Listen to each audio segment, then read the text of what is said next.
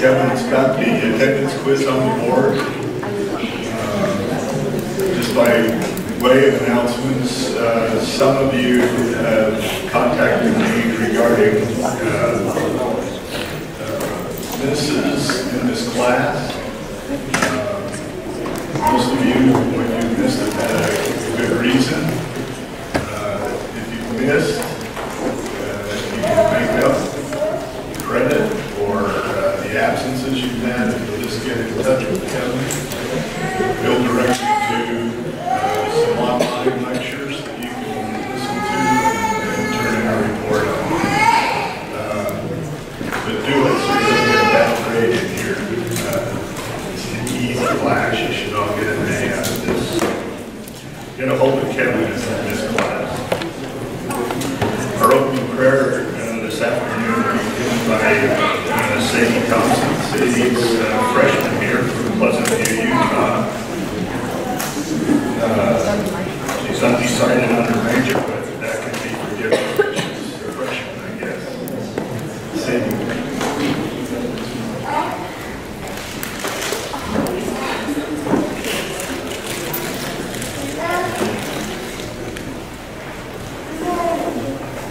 Dear Heavenly Father, we're very grateful for this day and that we're able to gather here together in this beautiful building.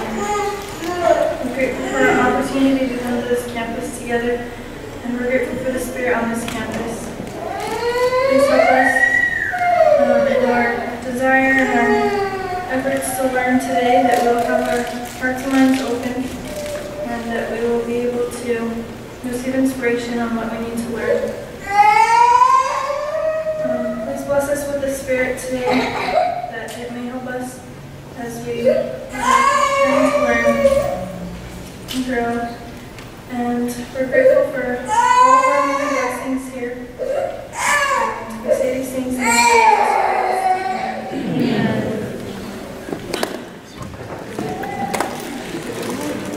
Thank you, Sadie. Uh, We'd also like to recognize visitors that we have with us today. Uh, The are here visiting. You guys? Stand up. Uh, To have them with us. We hope we can maybe get them back to uh, speak to us one of these times as well. Uh, We'll turn the time to Brother Earl, who will introduce our speaker today, and uh, look forward to hearing from him. Thank you. Uh, just a quick introduction, and we'll turn it over to our guest speaker, Brian Hanrahan. Uh, about 12 years ago, I was uh, a young finance analyst at a company in California. We had way too much work to do, and my boss said, you need to go out and hire someone who's better than you are. So I thought, ah, gonna be too hard. So interviewed a whole bunch of people. They were all terrible. Finally, I got really upset. I called up BYU I said, I want someone with an engineering background, an MBA in corporate finance, and they better be good. And that afternoon, I got a resume for Brian Hanrahan. Now, I know you look at your teachers and deans, and they, they don't seem to have a lot of you need to know that there are people who call them, and they're looking for you. So I would make sure that you just keep good, good references. Get ready to graduate. Uh, I had a chance to meet with Brian. Um, he was the perfect candidate. We um, brought him on, helped us with a lot of um, analysis with mergers and acquisitions. After a short period of time, it got to the point where the CEO of the company would not make a decision until Brian looked at the analysis. The, the question throughout the company, if we had to make a financial decision, the question was, has Brian looked at this yet? Right, that's how much influence he had. Um, after I left the company to do a startup, he left a short time later, uh, started a company called My Carnivore, had some success there. Um, later, the president of the new company that had acquired our old company called up Brian and said, we want you back. They brought him in as uh, vice president of sales. Um, he had experience both in operations, finance, and sales, and he's now the vice president and general manager of Imerys North America. This is a huge mining company based out of Paris, France. He's done extremely well with the company, BYU alumni, and he's got a wonderful family. I'd like to recognize his wife Jennifer and her kids. And we'll turn the time over to Brian. Thank you.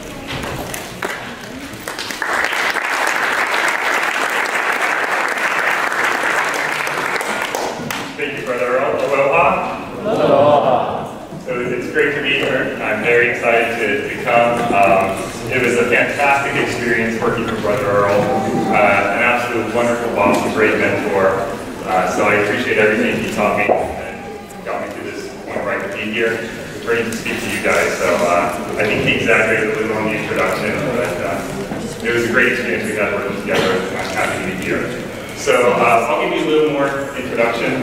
Uh, Jason ran through a few things, but um, I have had a very diverse background.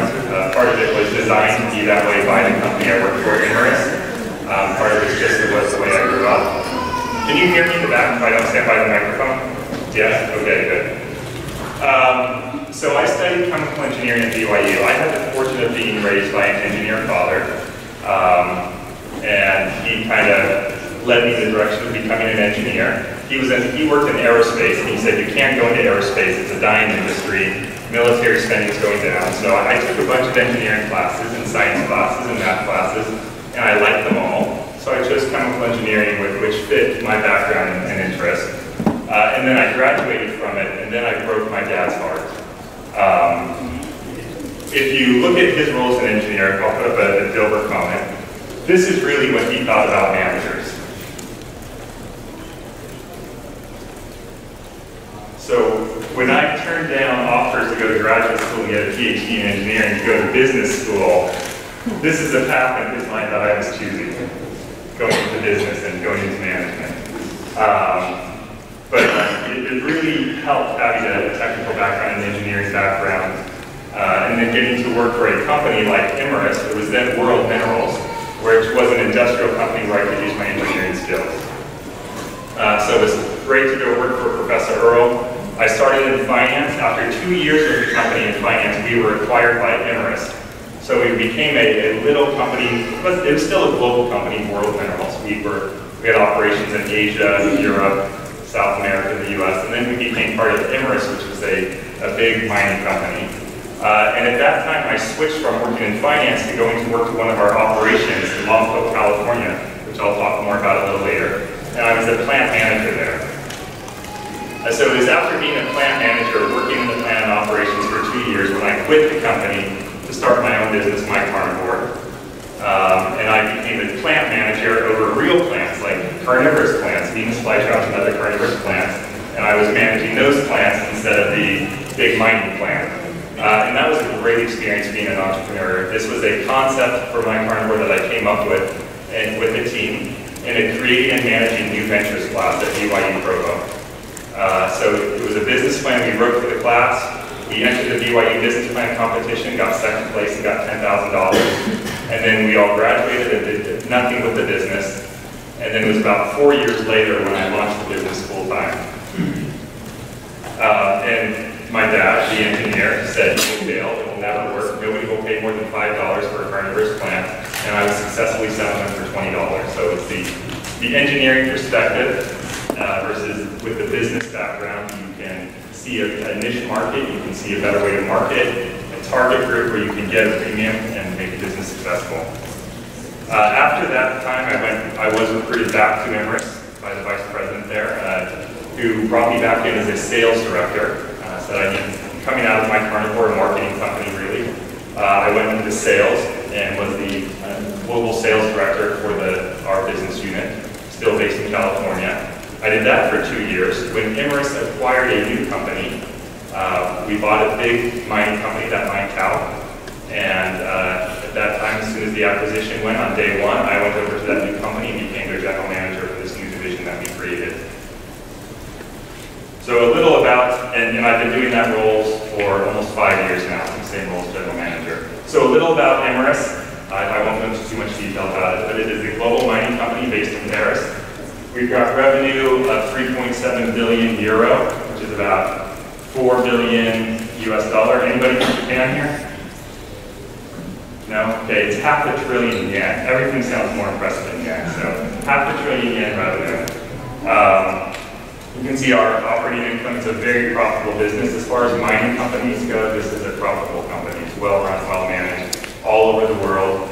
Uh, almost 15,000, actually this was before our latest acquisition, so now we have about 17,000 employees and 300 operating sites where we stand now, and close to 5 billion euro in revenue. So the main product in my division is a mineral called talc. Has anybody heard of talc? No? Nobody? Going on? No? Okay. One of the most common uses of talc, baby powder, is made out of talc. So we make baby powder. Baby powder is fantastic when you go to the beach. Put a little on after playing in the sand, put it on your babies when you're done playing with them in the sand, the sand goes away, they end up clean and dry. Only if you use talc. And Johnson's brand, because we supply Johnson's, don't buy other brands.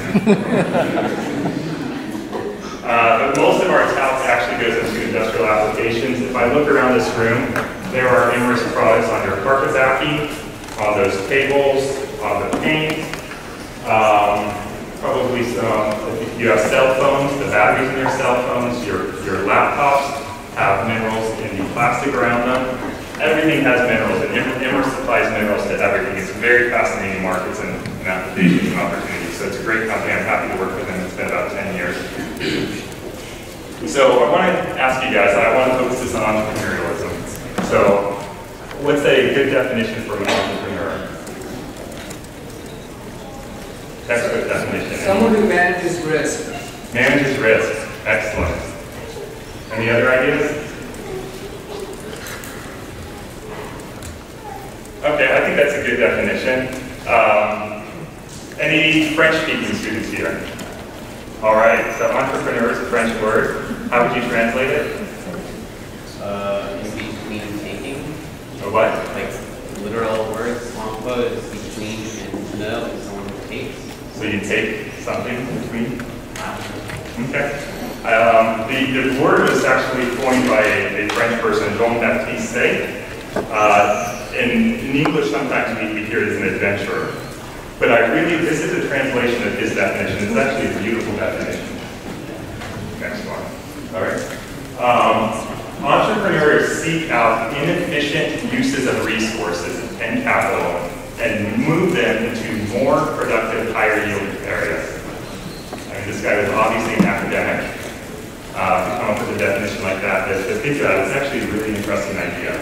Coming to Hawaii, I actually see this all around the island here. A great example of real entrepreneurism following this definition are your food trucks. Why do you need a big, expensive building to serve food to people? So that a, a big restaurant is an inefficient use of resources and capital. When you can provide great shrimp out of the truck on the side of the street and move it around to your customers rather than your customers to come to you. So that is moving capital and resources into a more productive, higher yield area. So I want to talk about entrepreneurism um, because when I started my company, I was on my own. I started as myself, um, and I, I grew the business, but it was still mostly a one-person job. And I think really an entrepreneur, you might start off as yourself, but you become a leader. You become your hopefully your venture becomes more than one person. And at that point, you become a leader. And your goal as a leader is to create an environment where entrepreneurialism will continue to thrive, where you can continue to pull in those great traits of an entrepreneur, managing the risk, bringing creativity in, and inspiring others to have that same culture. So really, as an entrepreneur, you're creating this environment for culture. In the corporate world, culture is a very big thing. Uh, I think for, for you all here at the, in Hawaii, the Polynesian Cultural Center, obviously culture is a big part of your traditions, your lifestyle, and the corporate world, it's no different. We just have different cultures that exist there, but every company has a culture. And that culture is set and maintained by the leadership of the company. So I, I believe for an entrepreneur, a big part of their role as they state, create this new venture is to maintain and manage that culture. And a culture is shared values and beliefs among the people. Anybody recognize this area on the map? Hmm. Where is it? Oh, sorry, my slides are not seen.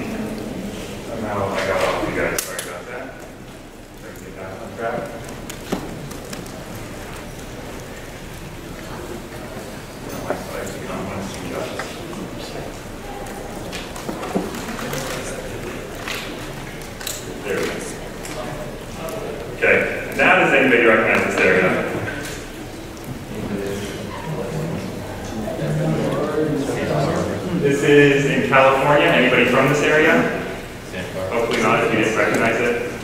Um, this is the Bay Area of California. So right up here at the tip, you have San Francisco, and down here you have Silicon Valley. Silicon Valley is one of the most beautiful examples of culture and entrepreneurialism. And where it started, there, there could have been two maps that I could have shown you here. In the 1920s and 30s in the US, there were two potential high-tech centers developing. One of them was the Bay Area, Silicon Valley. The other was in Boston, just outside of MIT. It was called Route 128. A lot of startups were going to Route 128 when two people started a company in Palo Alto, California. So this is a picture of Bill Hewlett and Dave Packard. You can probably guess what company they started. Hewlett Packard. And uh, they started this company in 1938 with $538 in capital. That was a few hundred dollars in cash and a Sears Craftsman drill press. And out of that, they made the first HP product. Uh, and they've been, they were really the first high-tech company in Silicon Valley. Um, they started in this garage. This garage is now a museum in California. It's worth millions and millions of dollars. Uh, tiny little garage Palo Alto. Um, and the reason the company is Hewlett Packard and not Packard Hewlett is a coin toss. Hewlett won. So that's a good way to name your company. Flip a coin, figure out what your name's going to be, and it worked for them. And now their company has over, um, I think it's a, just a huge amount of revenue. Um, and it's a very successful company. Um, but they really weren't the founders of the Silicon Valley culture. They were the first company. But it was these eight people who started the culture of Silicon Valley. They're the, the person who invented the transistor. Transistor is, is really the integrated circuit in your computers and everything else electronic, was invented by a person named William Shockley. He won the Nobel Prize for it. And he decided he was going to start a company to make these transistors into products. So he did a great thing as an entrepreneur. He went and hired these best and brightest people that were possible. And he brought them all to uh, Palo Alto, San Jose, Silicon Valley, California, and started a company called Shockley Laboratories. And they were going to make the best transistors, and they were going to use this new technology to come up with some great ideas and products. The problem is, William Shockley was a brilliant engineer and scientist, but a horrible manager. He did not trust his employees. He did not uh, allow communication between them. He micromanaged everything they did. So he wanted to do a startup company, but he brought the wrong culture into it. And because of that, these eight employees started colluding with each other and decided this is a great technology, but it's being managed poorly by William Shockley. We are going to leave and start our own company. So these eight people, called the Traitorous Eight, in Silicon Valley, because they started Silicon Valley, left Shockley because he was a bad manager and started their own company called Fairchild Semiconductor. And what they did when they created Fairchild Semiconductor, they didn't create a company, they created a culture. And within this culture, it was a very entrepreneurial spirit. People shared information freely.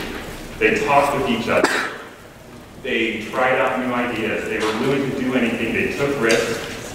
And uh, a very unique thing about this area is when you had an idea, you would start a new company with that idea. But you would still keep in touch with all your old friends at the old company and share information.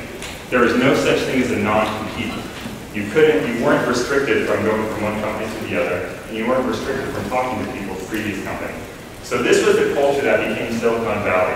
And out of these eight people, this is a map of all of the companies that were started. It's, it's a genealogy. The company started by these eight people.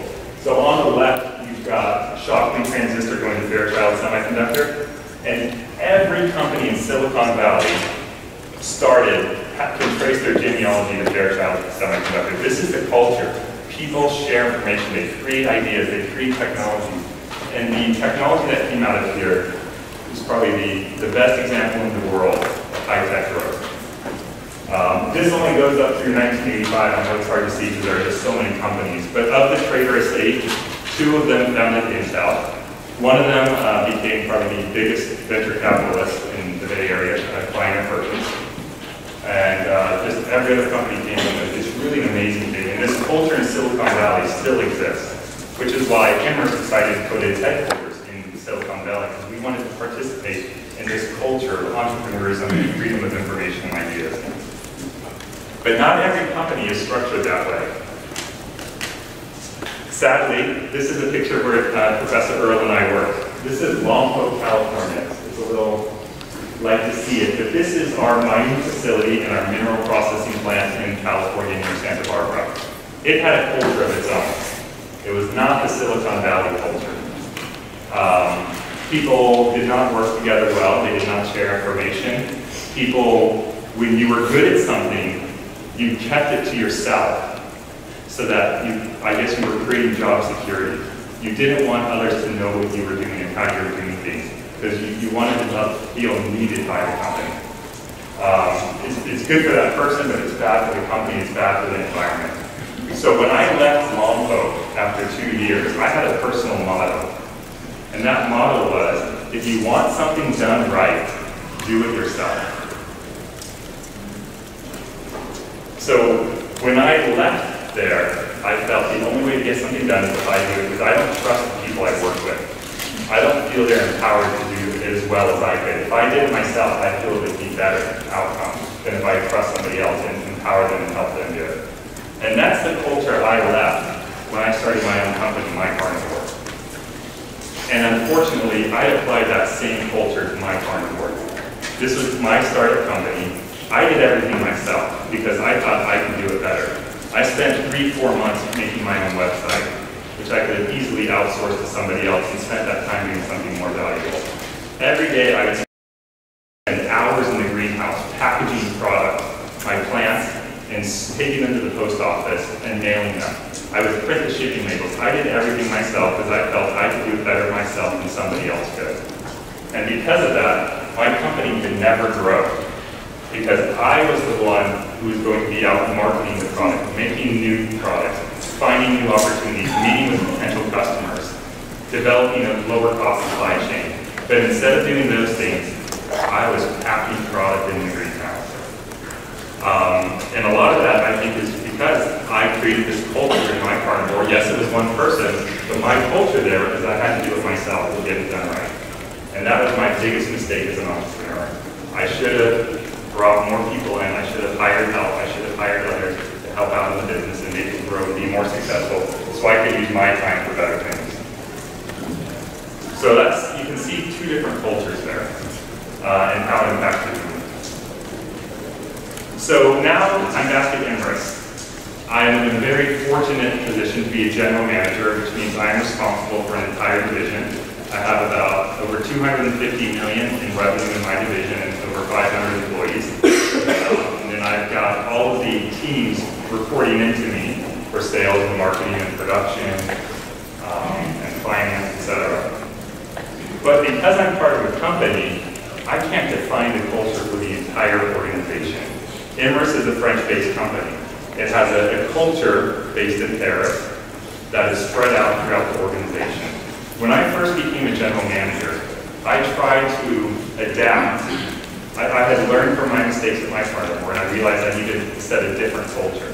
And I tried to create a purely entrepreneurial culture at Imerys, and it didn't work because I was not being consistent completely with the corporate culture. So they were getting one message from me on how I wanted to do things, and a different message from corporate.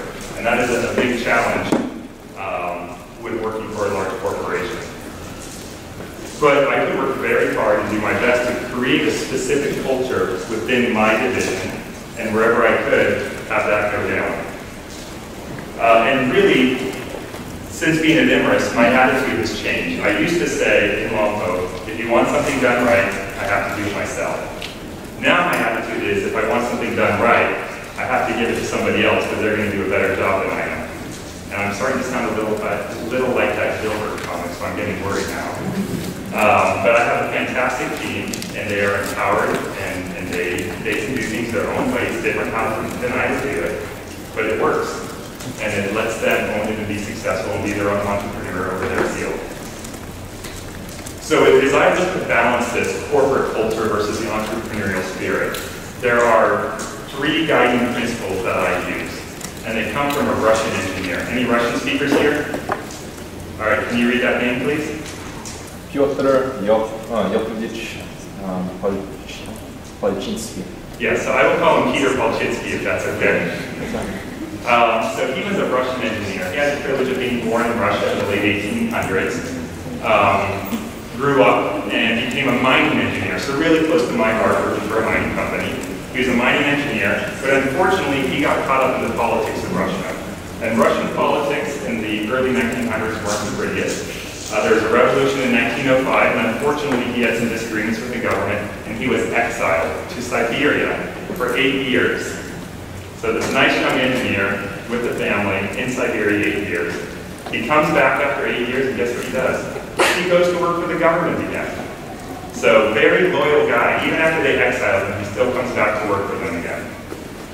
And as an engineer, he's also an engineer in 1917 during the revolution. And he, begins, he becomes actually pretty high up in the Stalin government. And Stalin had a culture of his own. One of Stalin's ideas was technology decides everything. The culture for us is going to be go big with technology. We're going to be the biggest and the best, and we're just going to go, there's a new concept, we're going to make it big. And it was, a, it seems like a good idea, but Peter Palchinsky had a different culture. He said technology is nice, but people matter too. There's a social aspect to everything we do. And if we ignore the social aspect and just focus on the technology, or just focus on the product, or something else, you're going to miss it and you're not going to be successful. So he tried to bring a social aspect into engineering projects. He worked on three very large projects for Stalin. Uh, the first was a mining, a, a big mining site that's called Magnitogorsk. And Russia found the largest iron ore site in this huge mountain, and they were going to mine it. And they would have enough iron to last for hundreds of years. And so Stalin said, build the biggest mining city ever, and we're going to be rich in iron. What they didn't, what Stalin didn't recognize is this mining site was way out in the middle of nowhere. And once you got the iron ore, it was almost impossible to bring it to anywhere where you could actually. But anyway, they built it. Peter Palchinsky said, this is a bad idea, here's why it's not going to work. Do it anyway. So they built it. The second project he worked on was a, a dam on the Dnieper River. And we need electricity, let's build the world's largest hydroelectric electric plant. And so they were going to do it. It was huge, the biggest dam ever. So Peter said, no, you can't do this. The, the, there's not enough water. The water moves too slowly here. You will never be successful in it. And sure enough, they built this dam, and it never really worked. There wasn't enough water. Nobody did a test, nobody did a study. They just said, let's build the biggest dam ever. The third project we worked on was actually the most tragic. It was the, a White Sea Canal. They wanted to build a canal so that they could transport goods back and forth. And unfortunately, the canal was poorly designed, but it was going to be the biggest and the best installment. Um, so when they went to build it, it froze in the winter, so completely unusable for six months. And most summers there wasn't enough rain, so it was unusable during most summers. Here's the tragic part. In the building of this project, and this is really what got Peter Palchinsky upset, 20,000 people, not worked on the project, 20,000 people died trying to make this canal. Absolutely incredible loss of life to build a canal that didn't work because it wasn't engineered properly, and the social aspects were completely ignored. If there is no thought to the people or the culture, it's just go with the technology. Peter Palchinsky spoke up against this and was never seen again. He was executed for his disagreement with Stalin's uh, engineering approach. But what he came up with were three guiding principles that I use all the time in my company and that are fantastic for creating. First, seek out new ideas and try new things. You have to find new ideas and always be looking for new opportunities. Second, when trying something new, do it on a scale where failure is survivable. When Stalin went to build a dam, he didn't do a small pilot. He built a big one and it failed. He didn't know it would fail because he didn't try it out first. Everything I do with my business, I'll talk to my engineering director and he'll have an idea. And he'll tell me his idea and I'll say, well, what's the cost of failure? Well, the cost of failure is we lose, you know, a month of work for this guy because he'll spend his time. Okay, that's survivable, let's do it. We get to try out a lot of new ideas and develop new products or try new processes because we understand that the cost of failure is small. If the cost of failure is too large, we say no. Find a different way to do it where you can prove out your idea without costing too much. And the third one is the most important and most easily skipped. Seek out feedback and learn from your mistakes as you go along. Doing a pilot study, doing a test market, doing a focus group isn't any good if you don't learn from it and incorporate it into your next step. So this is an iterative process. You go back and try it again with the feedback and the learning that you got. These are fantastic principles for an entrepreneur where you don't have the resources to go big first. You need to prove your concept, prove your product, prove your market on a small scale where you can survive it, but still learn enough from it to make your second go around better. What I love about these principles is they work just as well as in an entrepreneurial environment, pure one, as they do in a corporation. So with the understanding that culture is really the driving force of entrepreneurialism, I'd like to point out a few specific areas of where the skills of an entrepreneur fit into the corporate world and how you can create that culture whether you're starting your own company or working for a bigger company. Um, so if I look at some of the skill sets that are common among the two, first of all, building your team. Imerys is a very lean company. We pride ourselves on, on not having a lot of employees, and people are really, a lot of it is expected out of them, which means everybody on my team has to deliver. I've got to pick people very carefully because I don't have extra headcount to afford somebody who's not going to deliver exactly what I need. As you're starting a company, you need to make sure you have the right people on your team who are going to do the job. You just can't afford to have somebody who doesn't deliver what you need. The market drives demand. We focus everything we do on unmet needs. Field of Dreams, anybody seen the movie? Few of you? I know I'm really old. Um, Kevin Costner says, if you build it, they will come. That, that's the idea of the movie. That is a horrible idea. If you build it, they will not come. They will come if they need it. Don't just build what you want to build. Find out what the market needs, and that's what you, you build. That's what you make. That's how you're going to make a company and actually get sales. So there's not a field of dreams in entrepreneurialism or in the corporate world. Find out what you need to go for it. Creativity drives innovation. You've got to have creativity. Um, the unfortunate thing in the corporate world is they like a lot of models and systems. And it's very hard to put a system around creativity. Um, you could say, well, you've got to write these reports and fill out these forms and go through this process. We do have a stage gate process for innovation and new product ideas. But when your first step of the process is to write a 10-page document, you pretty much killed creativity. I'm working with a startup company uh, who was a PhD chemist for 3M.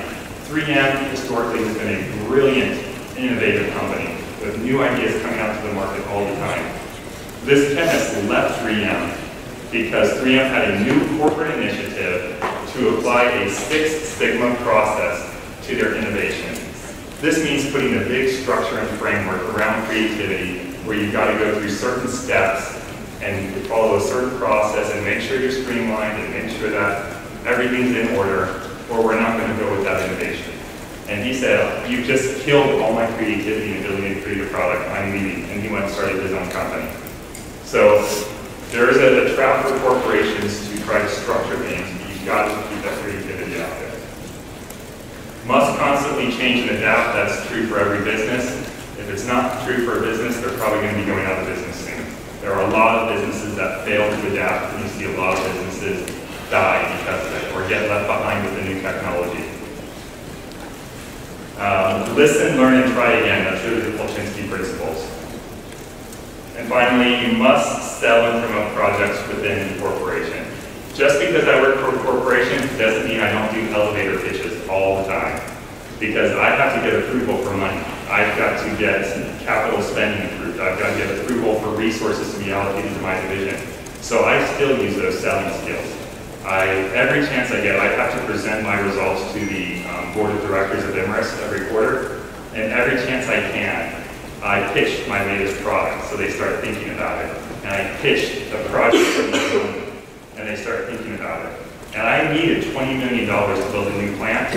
And when I was ready to ask for the money, he approved it in a couple of days because I had been pitching this idea to him for so long. It was just a formality because he already knew all the details. So salesmanship, pitching yourself, pitching your ideas is just as valid in any environment. So there are some great aspects of being an entrepreneur in a corporate environment. I get a paycheck um, every two weeks. I never have to worry about that. It's the same amount every time. Um, also, when I need money, I can raise $20 million by going to the CEO and asking for $20 million. Yes, I have to do a lot of paperwork to justify it, but I can get the money because Imerys has that kind of money sitting around waiting for good projects. Um, so I really don't have to worry about investors. I don't have to worry about where the money's going to come from for my next big idea. It makes it easy to innovate and launch new products. Um, I have global resources at my fingertips. And not in my division, but within Imerys, there are divisions in Asia, Europe, South America, everywhere in the world. There's entire departments for marketing, finance. Um, I've got access to five or six different R&D labs, all with different expertise. So it's really fantastic to have these resources available. Um, so anything I need, I can reach out and say to the marketing guy in Europe, how's the market for this product in Europe? What do you think it, it needs to be successful there? How do I pitch this in South America? Um, what's happening with the exchange rate there? How, how, is American, how are American products being perceived? It's really great to have those resources. Um, and the greatest thing is it's easy to hide losses. We tried to launch a product called Immerclass. I lost a million dollars last year on this new product launch. You know, nobody really notices because I just say, yeah, it didn't work, we lost a million dollars. But energy prices were low, I was able to hedge in a better exchange rate between the US dollar, and Canadian dollar, and I made up for it. So, you know, if, if you're an entrepreneur and you lose a million dollars, depends on the size of your investors and how they feel, that could be a pretty big deal and that can kill your venture. But within a corporation, you get a little more flexibility. So it sounds really nice and great, so now we'll go into the downsides. so I've got two slides here. The first are the traps. And this is really what you've got to overcome. And the second thing are what really kills entrepreneurialism. So the traps are a publicly traded company. Unfortunately, in the world today, my opinion is publicly traded companies are very focused on short-term results. I was in a meeting with our CEO, and I asked him, what are your objectives? And he said, the Imerys Board of Directors has two objectives. The first is to maximize current year operating income. We have to be as profitable as possible this year. Second, dramatically transform Imerys over the next five years. Those goals are completely in contrast with each other. You can't completely change a company and open up new markets and new opportunities and new products when all you care about is current year operating results. So it's very difficult to, to be in this environment where short-term results drive so many decisions. It's actually very frustrating. Um, my manager does not share my same culture, as Professor Earl knows. Um, so I want to move quickly he wants to move slowly. I can't get approval for things until he's gone through 10 rounds of analysis. And by then, the opportunity's passed and we move on to something else. So it's really hard to have conflicts with the manager. Uh, cultural classes, clashes. What I say as a general manager, my number one job is to protect my employees from Imerys. Imerys is very consuming and very demanding. So I try to keep my companies away from this corporate giant that loves meetings, that loves reports, that loves internal analysis, and almost to the point where the customers seem to come last sometimes. Um, I get a lot of fights with our legal team because they want a contract for everything, and I'd rather move faster and work on a handshake. That doesn't work in the corporate world. And I especially get a lot of fights with our intellectual property legal. They have this strategy where they would rather, Imerys likes to own things. We want to own the intellectual property. So they would rather own all of nothing than part of something. So I want to cut a deal, do a joint venture, share the IP ownership. They're like, no, we don't share IP ownership. It's all. And I'm like, well, this opportunity won't exist for us. We'll get nothing if we don't move forward. Wouldn't we rather have part of something? No, we'd rather have all of nothing. So uh, I've lost that fight many times. So I have something here called the view factor. Uh, this is the ratio of time spent looking up versus looking down. And by looking up, I mean spending time reporting to my boss, updating him on the business. And looking down is time looking at my team, my direct reports, and looking out is looking at the customers in the market. Sadly, I often spend most of my time looking up, uh, dealing with internal meetings, budgeting processes, and it keeps me from engaging with my team and engaging with the market. So that's a big challenge in the corporate world, is how do you stay market focused when Imerys could consume 100% of my time? One of our marketing directors, who Professor Earl knows well, Tom Sulpizio, and this is a direct quote, said, we spend all of our time making PowerPoint presentations while our competitors do nothing but focus on eating our shorts. Direct quote. But he's right. Our competitors don't have big meetings, all, all day meetings. They go out in the market and they meet the customer needs. So we need to make sure that's our focus, but it, it doesn't always work that way. So real quickly here, things that kill entrepreneurialism. You can read over these, but in any environment, entrepreneurial or corporate, you've got to trust people, you've got to empower people, you will never have control, you just need to be flexible and adaptable and anticipate areas rather than expect control. And lack of communication is, is really bad. So as, as leaders going out into the world, you are empowered to create the culture in your work environment and influence it. Um, and, and, I think you'll see that you can have a lot of influence. I've been able to create this environment within my division that follows these entrepreneurial principles as much as possible. And yes, a lot of my time is as a shield. I go to meetings, and I don't let my team come to those meetings because they're all internal meetings, and I want them out doing real work. Um, but it, it, it keeps that environment thriving. So a couple points here. Gain as much diversity and expertise as you can. My background really prepared me well for my job. I was fortunate to have a technical background, work for mining company, get experience in sales, finance, operations before going into general management. But really never stop learning. Always continue to learn. I'm still learning today. Um, you're not going to work in isolation. Don't develop that culture that killed my start the company, my carnivore, when I wanted to do everything myself. And your role as a leader is to define culture and be consistent with it. You can't say I have an entrepreneurial culture, but then micromanage your people. You've got to really embody that culture and be consistent. The Palchinsky principles are fantastic. They apply everywhere you can. I encourage you to use those. And just to summarize the pros, being an entrepreneur in the corporate world is fantastic because I get money, I get opportunities, I get resources, and I can hide my losses. But it is it is tough. I don't have the freedom and flexibility that I would enjoy. There's projects that I want to do, I can't do, I can't move as fast as I'd like to. Uh, so, so there's pros and cons to everything. Uh, and then there's always those bureaucracy and politics that, that get in the way. Uh, but is, I want to go back then to that first quotation. Entrepreneurs seek out inefficient use, uses of resources and capital. If you look at the world today, there is so much inefficiency. There seems to be, everywhere you go, you see inefficiency. There are so many opportunities to do things better. So your role is to find these inefficiencies, find these unmet needs, and figure out a way to do better. How can you do them with less capital required? How can you do them faster? How can you needs and make things more efficient? And there are so many opportunities out for you to do that. And you can have these, this mindset and this approach, whether you're starting your own company, working for a startup, or working in a bigger company. Thank you.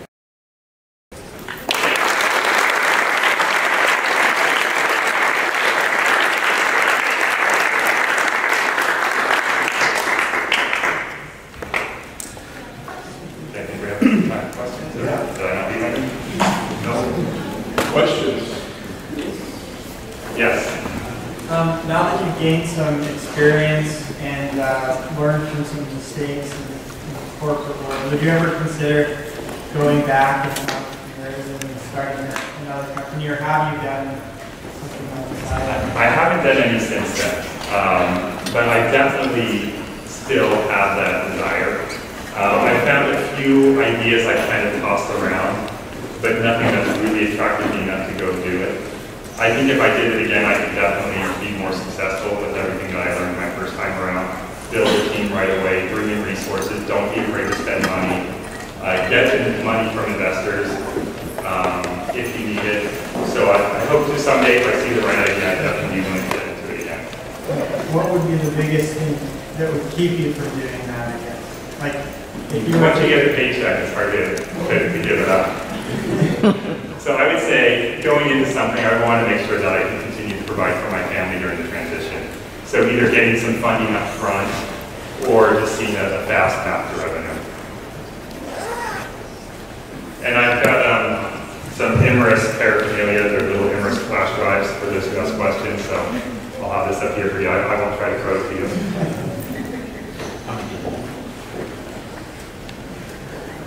If there was one thing that you wish you would have known when you were our age, what would that be? If there is- Hmm. Let's see, that's a tough question. Uh, I would say, you know, you kind of think that there's a certain way you have to do things.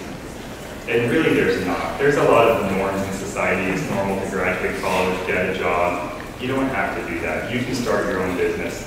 You can recover from it later. So I think really don't take your career path too seriously that you make decisions that lock you in a certain direction. So feel free to create your own path to, to start a company, to startup, to work for a big company.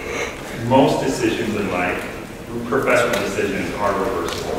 There's a lot of personal decisions that, that are much bigger commitments. And those are really where you need to, to focus your, your efforts and your attention. And pretty much any professional decision you can recover from.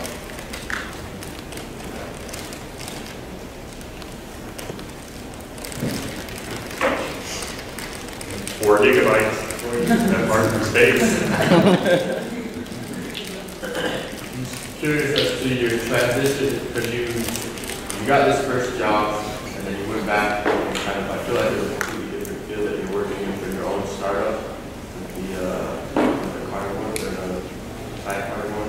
Yes. So what, I'm curious as to what caused you to leave, I guess, a semi-secure environment and job, um, to go do something that seems very.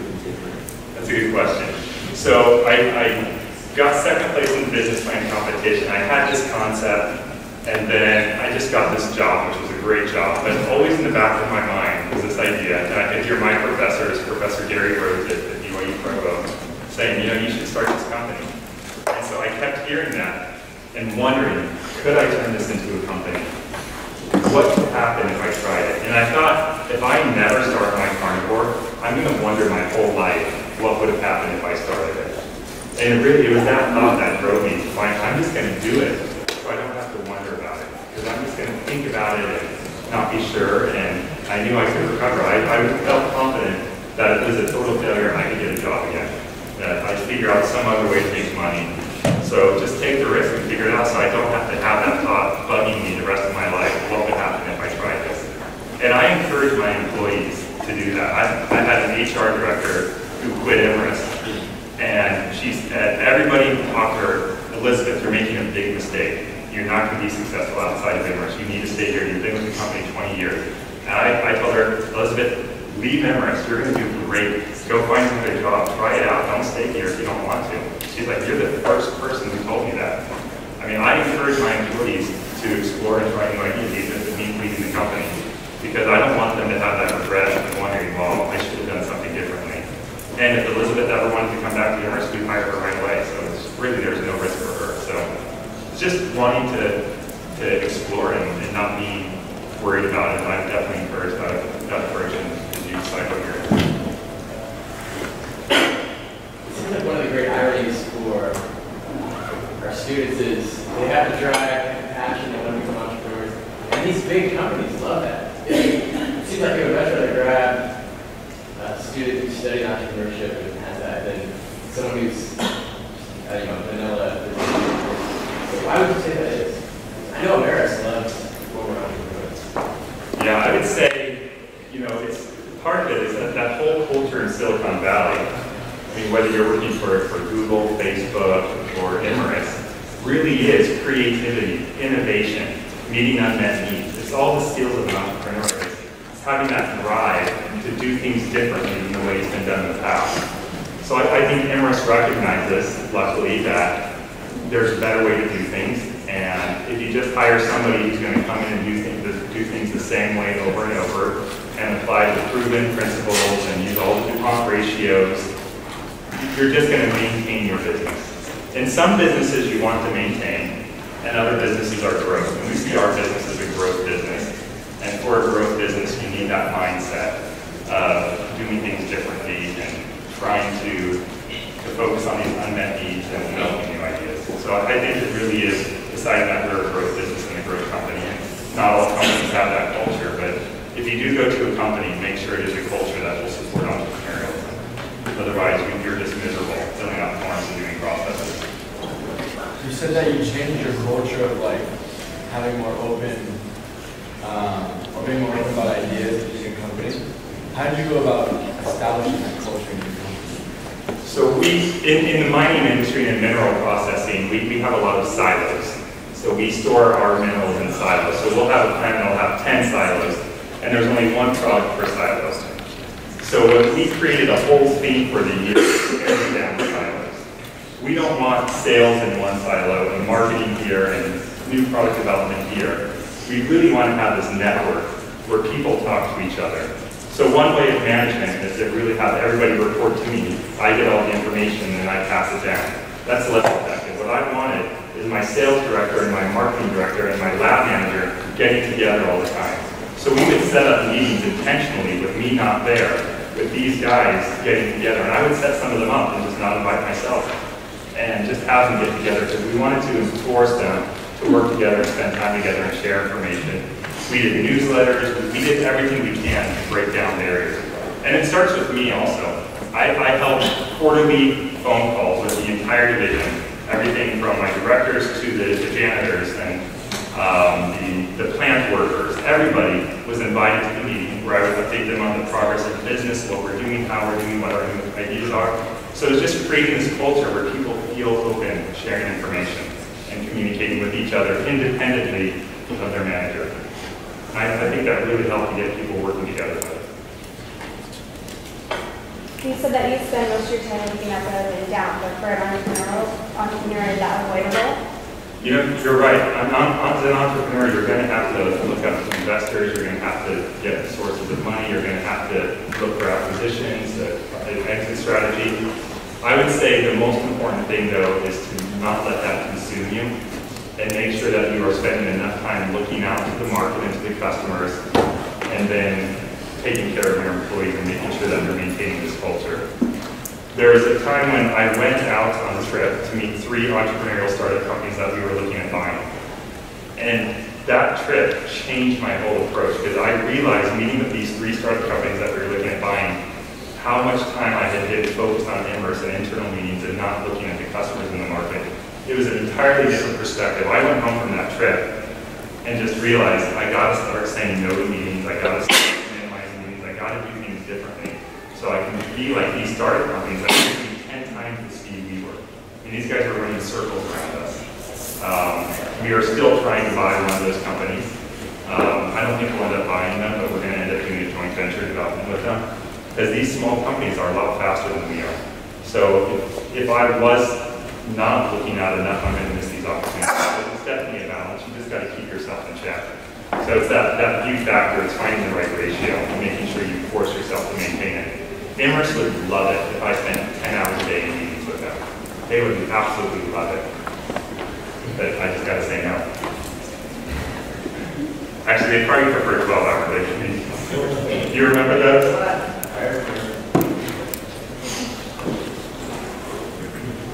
Have you seen your culture rubbing off on um, your current company that you're with? Because you said they were always saying no, no, no, but Um, I would say in some cases, yes. Um, I'm lucky that this division that I manage, we acquired, so it was never part of Imerys before. So they, they never really became Imerys-ized. But I don't see, I see slowly some people catching on because our division is very successful. We've been fortunate to have good markets, good opportunities. We've grown 10% a year in our earnings every year. So I think people see the success of the division. There was, we set up a lab in San Jose, and the lab was a total failure the first year. And I think we've been able to implement more of our culture there, and we're starting to see some fantastic results out of the lab. People now are, are sharing information. Everybody used to just have their own experience and not share, and now they're hooking up to each other. So yeah, I am starting to see it spread, but I don't see it ever going to Paris. I mean, there- there's just two equally worried about the senior executives there.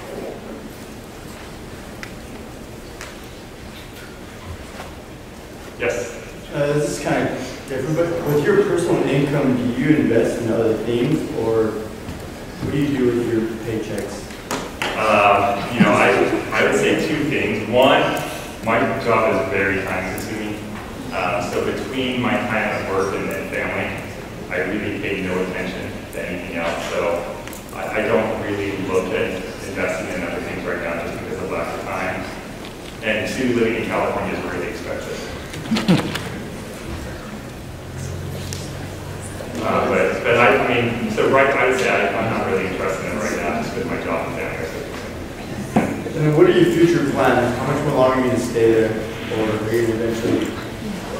I, I love my job. It is completely enjoyable. So I, I love my team. Um, I, I really enjoy what I do. I, I see incredible opportunities. We're building this new $20 million plant right now in Vermont. We're investing in our business. We have an incredible product portfolio that over the next three years is going to be rolling out. So I'm really excited to stay with Imerys. Um, so I, I I haven't really thought about looking at other things. Um, but, you know, obviously I can't stay in the same job forever. So eventually at some point, I do definitely really have those values and materials inside of me. So if there's the right opportunity, I would definitely consider it.